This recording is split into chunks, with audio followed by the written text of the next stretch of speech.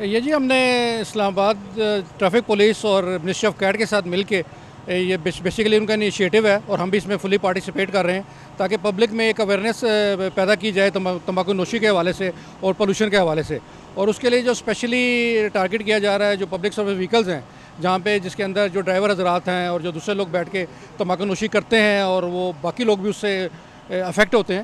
تو بیسیکلی ہم ان کو اویئرنیس کمپین چلائی جا رہی ہے کہ ان لوگوں کو بتایا جائے کہ آپ لوگ یہ پبلک سروس وہیکلز ہیں اور پبلک پلیسز پہ ریسٹورنٹس میں شاپس میں مارکیٹس میں اس چیزوں سے گریز کیا جائے تاکہ باقی لوگوں کی صحت بھی خراب نہ ہو اور ان کی اپنی صحت تو پہلے بھی خراب ہو رہی ہے۔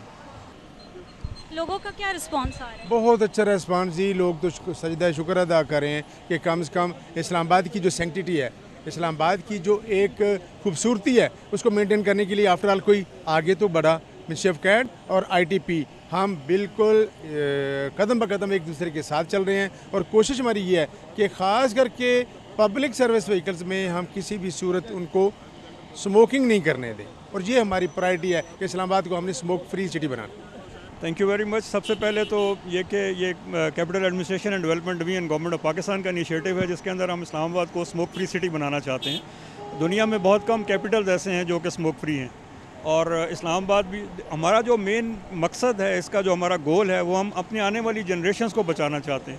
اور اس کے لیے جو ہے، ہم نے بیسک اینڈ اویئرنیس کمپین جو ہیں، وہ ہم نے اسکولوں کالجوں میں وہ بچے جو سگریٹ پینا شروع کر دیتے ہیں۔ آج اپنا بچہ ہونے کی حیثیت سے ایک نادان ہے، وہ اپنا ایک غلط ڈسیزن اپنی لائف میں لے لیتے ہیں۔ اور جس نے آج سگریٹ پینا شروع کیا، وہ ساری زندگی پیتا رہے گا اور ڈیفینیٹلی اپنا بھی نقصان کرے گا، اپنی جو ہے، جو لوگ اس پہ ڈپینڈنٹ ہوں گے بعد میں ان کا بھی۔ اور چونکہ ہمارا لاء منع کرتا ہے کہ آپ پبلک سروس ایریا میں سگریٹ نہیں پی سکتے، اس کے علاوہ آپ پبلک سروس وہیکل میں سگریٹ نہیں پی سکتے تاکہ آپ کا سیکنڈ ہینڈ دھواں کسی کو نقصان نہ کرے۔ تو اسلام آباد ٹریفک پولیس جو ہے وہ ہمارے ساتھ بہت زیادہ تعاون کرتی ہے اور اسلام آباد کی حد تک جو ہے انفورسمنٹ بہت جو ہے کمنڈیبل ہے۔ کہ ہم نے جو ہے ٹریفک پولیس کے ساتھ مل کے جو ہے ساری اویئرنیس کمپینس ہم تین دن کے لیے کرتے ہیں، ڈیلی سڑکوں پہ کھڑے ہو کے، تاکہ جو پبلک ٹرانسپورٹ میں سفر کرنے والے ہیں وہ بھی اور جنرل پبلک بھی، ان کو پتہ ہو کہ سگریٹ نوشی ہمارے لیے بھی نقصان دہ ہے اور ہمارا چھوڑا ہوا دھواں دوسروں کو بھی نقصان پہنچاتا ہے اور ہمیں قانوناً بھی یہ کام نہیں کرنا چاہیے۔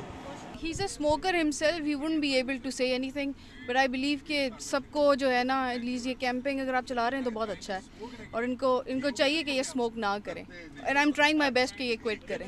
ٹھیک ہے؟ تھینک یو ویری مچ بری بات ہے یہ۔ سر بس کیا کریں؟ کیونکہ پبلک سروس میں سگریٹ پینا منع ہے۔ فرسٹ ٹائم ایک ہزار روپیہ اس کے بعد پھر ایک ہزار سے لے کر ایک لاکھ روپے تک فائن ہے اور چھ مہینے سزا ہے۔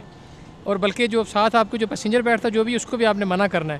اگر منع نہیں ہوتے تو یہ آپ کو اتھارٹی ہے کہ اگر نہیں مانتے تو آپ ان کو گاڑی سے نیچے اتار سکتے ہیں یا one nine one five helpline پہ کال کر کے آپ ان کو فائن کروا سکتے ہیں۔ کوشش کرنی ہے آپ نے خود سگریٹ پینا ہے اور نہ دوسروں کو پینے دینا ہے۔ ٹھیک ہے نا؟ ٹھیک ہے سر انشاءاللہ۔ یہ بہت اچھا ہے اچھی طریقہ یہ سگریٹ پینا ڈرائیور کو کیونکہ اب میں بذات خود نہ سگریٹ پیتا ہوں نہ کوئی دوسرا نشہ کرتا ہوں۔ اب ڈرائیور کرے گا اس میں اس کا اسمیل ہمارا فیس میں آئے گا تو زہر بات ہے ہم کو برا لگے گا۔ یہ بہت اچھا کمپین ہے اسی کے بارے میں۔ نشہ انسان کو اندر ہی اندر کھا جاتا ہے اور آپ اپنی صحت اور زندگی کو بھی داؤ پر لگا دیتے ہیں۔ لہٰذا فوری نشے کی روک تھام ہی صحت مند معاشرے کی ضمانت ہے۔ کیمرامین احمد خان کے ساتھ ہی نا راجپوت رسائی نیوز، اسلام آباد۔